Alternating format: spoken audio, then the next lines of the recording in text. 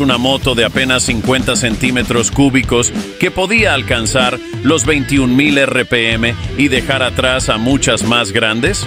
Así era la Honda RC116, una máquina diminuta pero brutal que conquistó los circuitos en los años 60.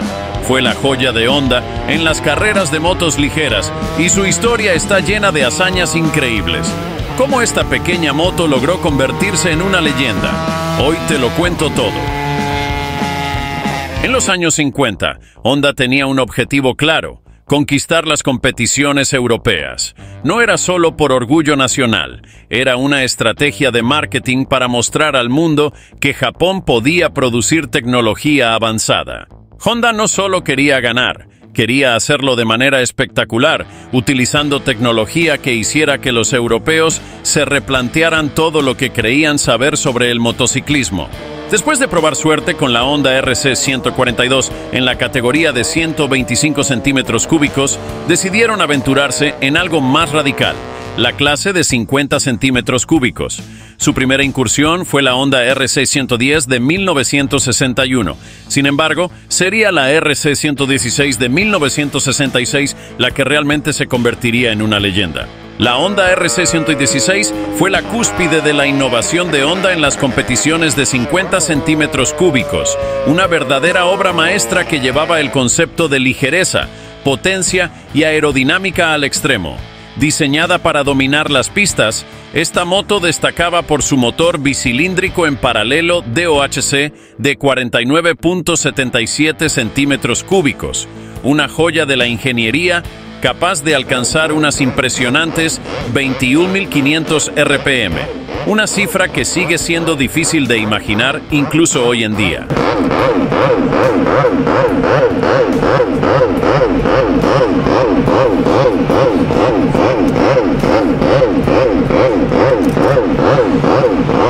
Su diseño no solo se centraba en la velocidad, sino también en la precisión mecánica.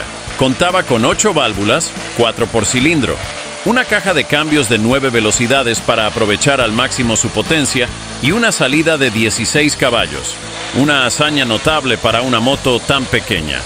Pero lo que realmente la hacía única era su peso, o mejor dicho, la falta de él con solo 58 kilos en seco, esta máquina combinaba una agilidad impresionante con una capacidad técnica que la colocaba en la cima de las competiciones. Cada elemento de la RC-116 estaba pensado para maximizar su rendimiento, convirtiéndola en una leyenda sobre ruedas. Para poner esto en perspectiva, este pequeño motor tenía una potencia específica de 320 caballos por litro.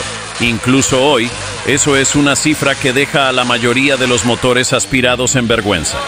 El chasis multitubular, combinado con un diseño minimalista, convirtió a esta moto en una de las más ligeras y ágiles de su tiempo. Era, literalmente, un arma sobre ruedas.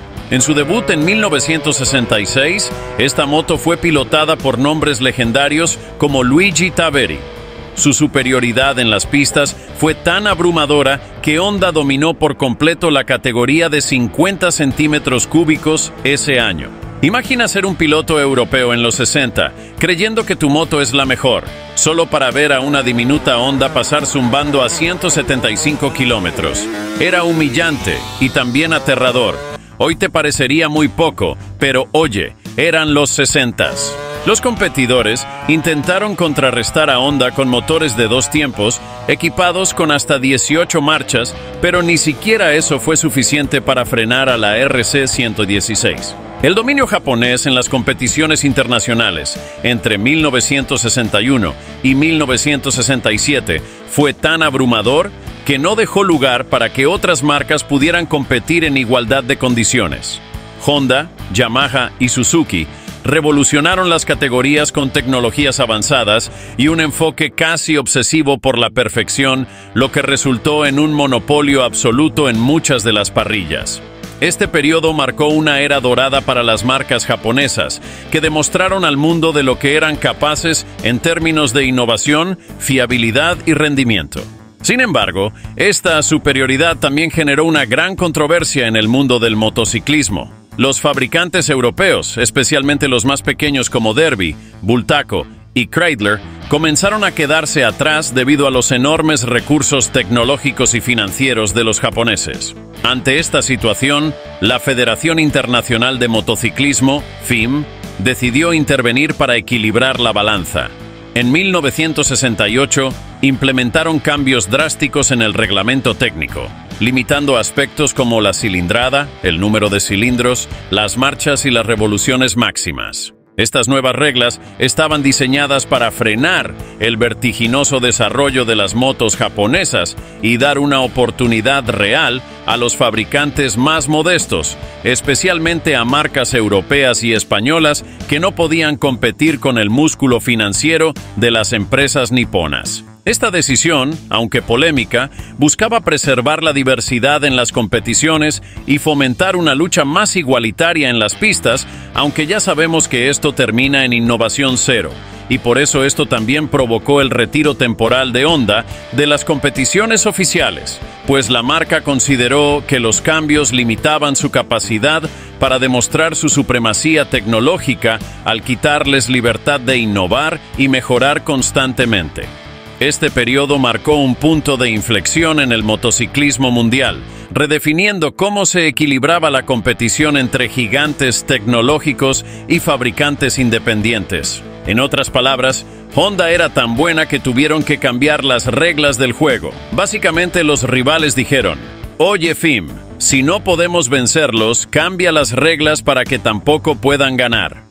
En los años siguientes, este cambio de reglamentación enfureció a Honda, que decidió retirarse oficialmente de las competiciones en 1968, al sentir que perdieron la libertad que hacía que las carreras fueran la pasión por ganar y no solo seguir reglas para ser equilibrado con los demás. Esto marcó el fin de la era de la RC 116, pero no de su legado.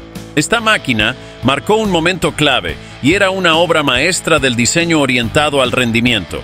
Con una estética que combinaba simplicidad y funcionalidad extrema, esta moto no dejaba lugar para adornos innecesarios. Cada elemento estaba diseñado con un propósito claro en mente. Era baja, delgada y tan estrecha como una bicicleta, optimizada al máximo para minimizar la resistencia al viento. La prioridad era la aerodinámica, y Honda no escatimó en detalles para lograrlo.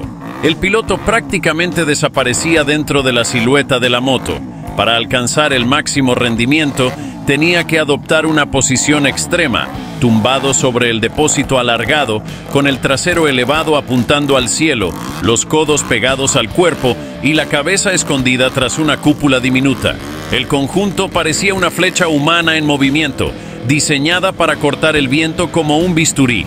Cada curva y cada línea de la RC-116 estaba enfocada en maximizar la velocidad y la eficiencia aerodinámica. Otro detalle sorprendente era su sistema de frenos. En lugar de utilizar un tambor convencional o un freno de disco, Honda optó por un diseño innovador inspirado en las bicicletas, con zapatas que friccionaban directamente sobre la llanta. Este sistema ultraligero era suficiente para las necesidades de las carreras de la época, ya que el enfoque principal era mantener la velocidad, no frenar. Junto a esto, los neumáticos eran tan delgados que parecían sacados de una bicicleta de carretera, reduciendo aún más el peso. El chasis multitubular, construido en acero ligero, era una pieza clave en esta ecuación. Sostenía el diminuto motor bicilíndrico como si fuera una joya, eliminando cualquier exceso innecesario. Gracias a estas decisiones de diseño, la RC116 lograba un peso total de apenas 58 kilos, convirtiéndola en una de las motos más ligeras y ágiles jamás vistas en las pistas. Una verdadera máquina de precisión diseñada para conquistar las carreras.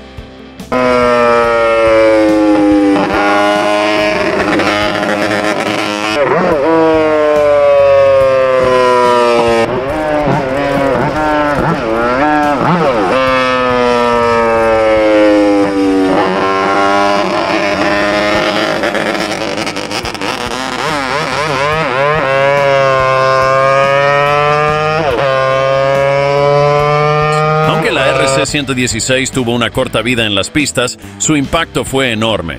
Demostró que la ingeniería de precisión podía superar la simplicidad y su legado vive en cada moto deportiva moderna. No solo era una máquina de competición, era una obra de arte sobre ruedas. Con su motor de cuatro tiempos a 21.500 RPM, desafió las expectativas de lo que un motor pequeño podía lograr en una época dominada por los dos tiempos. Esta moto representaba el espíritu de innovación y la búsqueda incansable de la perfección técnica, y ese legado vive hoy en cada moto deportiva que busca combinar ligereza, potencia y aerodinámica. Además, la RC116 estableció un estándar que cambió la percepción del mundo de las carreras. Honda no se limitó a competir, redefinió las reglas del juego. Su enfoque en la innovación tecnológica inspiró a otros fabricantes a pensar fuera de lo convencional y a desarrollar soluciones más avanzadas para sus propias motos. De muchas formas, la RC 116 abrió la puerta a una nueva era de ingeniería motociclista. Hoy en día, aunque la RC 116 se encuentra en museos como un recordatorio tangible de una época dorada de las carreras, su espíritu sigue vivo. Es venerada por los entusiastas y expertos como una de las motos más avanzadas jamás construidas, un ícono de la creatividad y el ingenio humano. No importa cuánto tiempo pase, la RC 116 seguirá siendo una leyenda que demuestra que el tamaño no importa cuando tienes innovación, ambición y visión, pero sobre todo, libertad de innovar. Y si quieres descubrir otra japonesa que daba batalla a la RC-116, equipada con 14 marchas y con un sonido que parecía el zumbido de un mosquito enfurecido, no dudes en darle clic a este video y nos vemos ahí.